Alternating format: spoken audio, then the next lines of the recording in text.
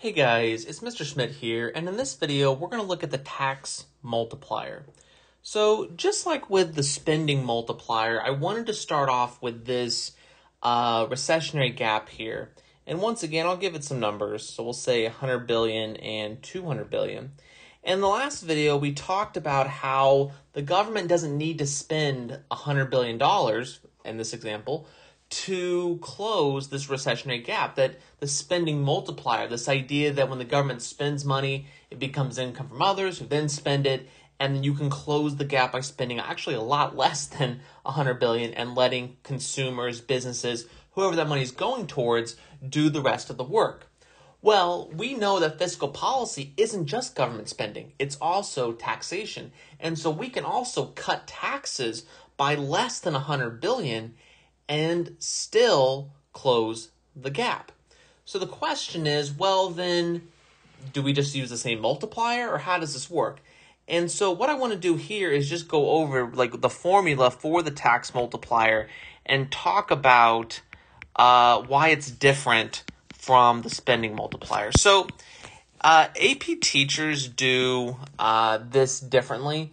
Um, they'll usually AP teachers will give you a fancy formula. I'm going to give you a really simple formula that will work every time. And so the formula is this: you're going to take your spending multiplier, okay, whatever whatever number that was, and subtract one. Okay, so your spending multiplier minus 1 will give you your tax multiplier. Now, we know the spending multiplier is 1 over the marginal propensity to save, so you could write it like this, or you could also write it as 1 over 1 minus MPC, do that work, and then subtract 1. All of those work. I just like to keep in my head that it's a spending multiplier minus 1, and as long as I have at least the marginal propensity to consume, I can get both the spending multiplier and the tax multiplier, which is really handy. Now you may be wondering, well, why is the tax multiplier less than one? Or sorry, less than the spending multiplier. It's one less than the spending multiplier. Why is that? Well, the answer is simply that when people um, when people's taxes are cut, it doesn't mean they're going to spend the amount of money that they now get to keep instead of paying in taxes, or they're going to reduce their spending by the same amount that um, that the taxes are equal to, right? That some of this money is still going to get saved, or some of this money will still get spent, depending upon whether you're cutting taxes or increasing taxes. And so the bottom line here is that the that the tax multiplier is always one less than the spending multiplier, and it is always going to be negative. Okay? So, for example, okay, so let's go ahead and go back to our graph here. And let's go ahead and, you know, work with this a little bit. And I'm kind of to, I'm to make this up as I go. So the math here may not be uh, perfect and clean like it will be on the AP exam. But let's go ahead and give it a go. So we're to say here that the marginal propensity to consume is 0.5. And so, well, if I can make a dot, sometimes it doesn't let me make a dot. There we go, 0.5.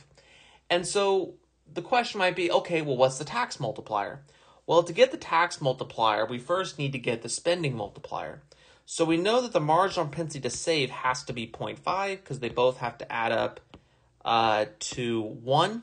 So 1 over the uh, marginal propensity to save as a fraction is 5 over 10. And so basically, we just need to take the reciprocal of that. So that's going to be 10 over 5, which equals 2. Okay? So we know the spending multiplier is 2. So to close this gap, we would spend $50 billion, multiply that by 2, that gets you to 100. What about taxes? How much should we cut taxes? So we should cut taxes by, so we're going to take the 2, 1 to get our tax multiplier. So our tax multiplier is 1 which means we got to cut taxes by the full $100 billion. We don't get any real multiplier effect here because the tax multiplier is always one less than the spending multiplier. And yes, that should be a negative one. We always make it negative to indicate that it's going to be the opposite here. So we're going to reduce taxes by 100 billion just as we were going to increase government spending by a full uh, 50 billion. So that's the idea of the tax multiplier. Again, as long as you know this formula here, you're going to be just fine with it. A lot of AP questions will often have you calculate both spending and tax multipliers. Some questions may ask you to explain why the tax multiplier is different than the spending multiplier, and your answer is simply because money that consumers now get to keep because of a tax cut or now have to pay because of a tax increase. Not all of that is going to be saved, nor is consumers not going to spend money because of a tax increase. So that's all for this video on the tax multiplier. Until next time, have a great day.